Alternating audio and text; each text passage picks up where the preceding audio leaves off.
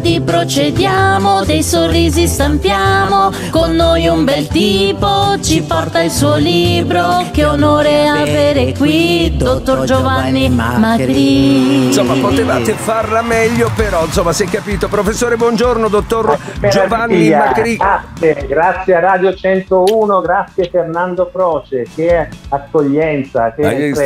Eh, non ci Benvenuto. facciamo mancare nulla. No, Allora, do- il dottor Macri è conosciuto nel mondo anche come Mr. Smile, il signor, il do- dottor Smile, anzi, dottor Sorriso. Si chiama proprio Dottor Sorriso questo libro eh, edito da Modatori Electa che è uscito in questi giorni dove racconta un po' la storia di... Ve la faccio... Posso, professore? Posso? Vado io? No, sì, fai tu. un, un professionista, come dire, particolarmente frequentato da eh, star della politica, del, eh, de- de- de- della televisione, insomma, dello star system, ehm, però un, un personaggio solo, che coniuga sia l'estetica alla salute del nostro sorriso, dei denti. Ti devo fare due domande tecniche, eh, dottore.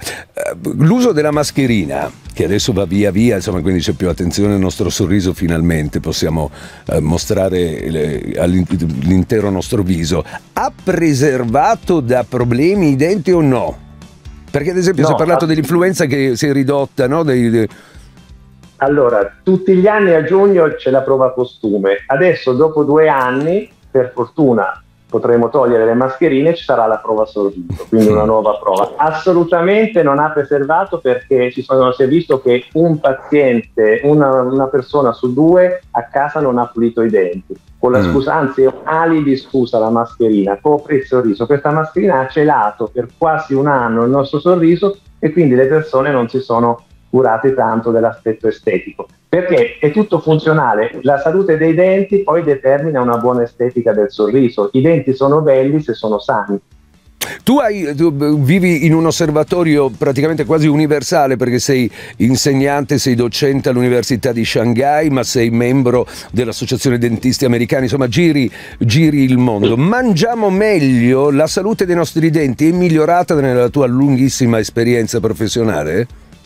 Allora, la salute dei nostri denti è migliorata per il fatto che molti dolci non sono più dolcificati con il saccarosio, ma con l'oxilitolo, quindi uno zucchero molto meno cariogeno. Poi l'educazione ali- alimentare serve, ma nel periodo del lockdown, con i pasti frequenti, si è creato invece l'effetto opposto. Ci sono state più carie, più malattie Ah. di parodontite, malattie delle gengive. Quindi questo periodo è proprio da dimenticare in tutti i sensi.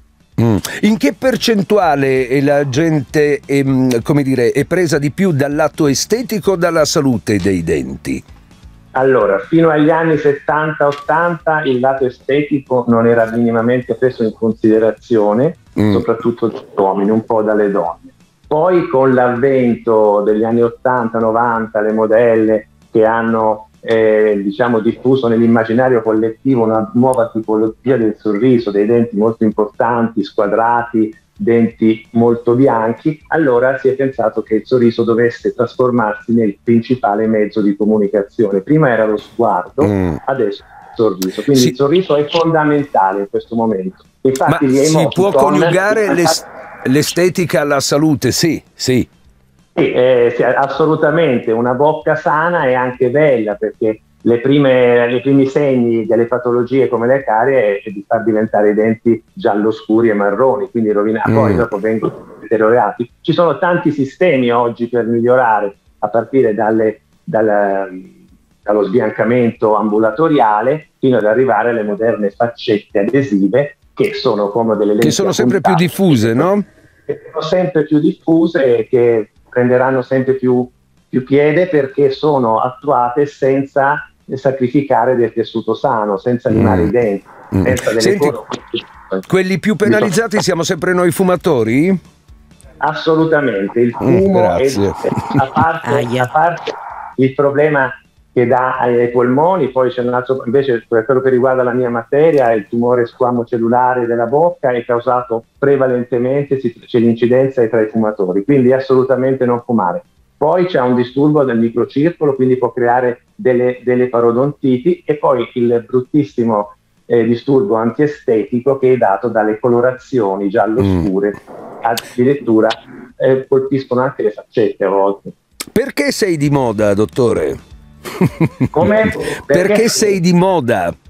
Ormai si... sono, sono, di moda perché ho, ho, rivoluzionato il concetto di estetica e ho cercato di far evolvere anche il sorriso come eh, le stesse cose che succedono un po' nel, nella moda, dei cambiamenti. Quindi se 50 anni fa andavano di moda per, per le donne dei denti piccoli, triangolari, adesso con la mascolinizzazione del sorriso si tende ad avere un po' un sorriso unisexy e quindi un sorriso completamente diverso. E io giro tutto il mondo guardando, prendendo spunto dagli stilisti che fanno le foto, le modelle e dico se questi sorrisi vengono scelti da persone che hanno un grande senso del gusto, questo in futuro potrebbe essere nell'immaginario collettivo la nuova tipologia del sorriso. E Tutto comunque per esperienza Anche... personale, scusami dottore, quando vado a trovare il dottore in studio incontri da Pippo Baudo ad Elodie, da Piero Cambiare, cioè, cioè, è come essere in uno studio televisivo. Sì, però Senti... lei a precisare, parlando proprio del mio libro dove racconto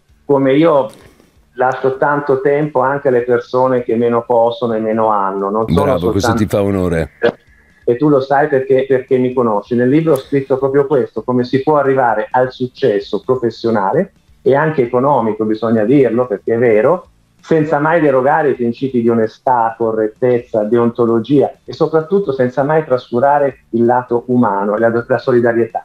Ho aiutato tanta gente, tu lo sai, ho curato tante persone gratis che, no, che, non potevano e quando posso insegno ai miei figli, che ne ho due dentisti, un avvocato e due dentisti, di fare altrettanto. Perché nella vita tutto quello che tu dai, poi prima o poi ti torna indietro, ricevi in cambio.